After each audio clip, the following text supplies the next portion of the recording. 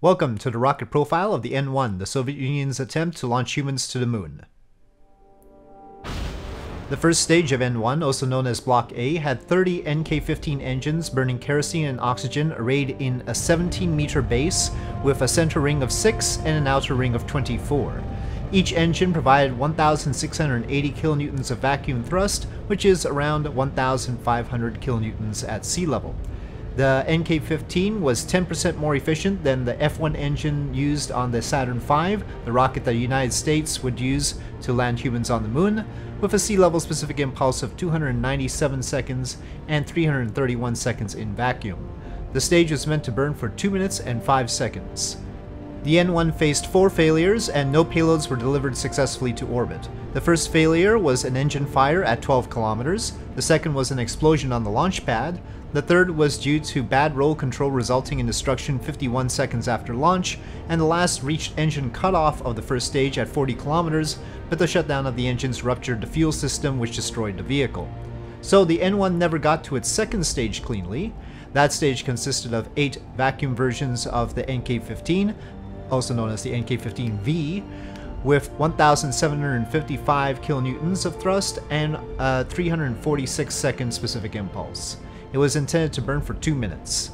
While the first stage was more efficient than that of the Saturn V, the use of kerosene and oxygen on this and the third stage, instead of the hydrogen and oxygen on the Saturn V, meant that the N1 was about 20% less efficient here.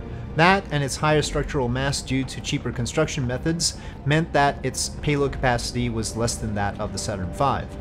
The third stage was the Block V and featured four NK-21 engines, each with a thrust of 402.5 kilonewtons, burning for 6 minutes and 10 seconds. A question that often arises about the N1 is, why 30 small engines instead of 5 big engines on the first stage as on the Saturn V? This largely resulted because of the bad relationship between the chief Soviet rocket designer, Sergei Korolev, and the chief engine designer, Valentin Glushko. Accusations by Glushko had led to Korolev being tortured and sent to the Gulag in Siberia prior to the start of the Soviet space program. While they had worked together before, the strained relationship meant that they could not negotiate over different opinions to fulfill the lunar project. This led Korolev to turn to Nikolai Kuznetsov, who primarily designed aircraft engines. The resulting NK-15s and NK-15Vs were highly optimized engines subsequently used on other rockets in their more reliable forms, but were initially not reliable. They were also relatively small compared to the American F-1s because getting so much thrust from a single chamber invites combustion instability, a problem potentially solvable with a large testing budget that the Soviet lunar program did not have.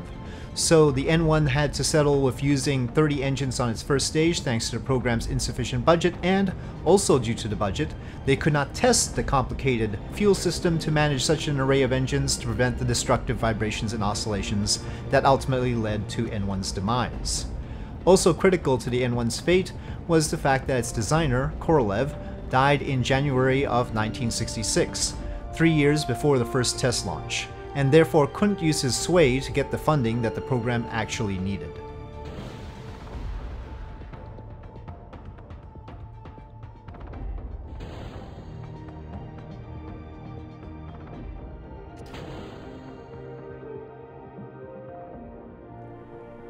And with that, thank you for watching this rocket profile of the N1.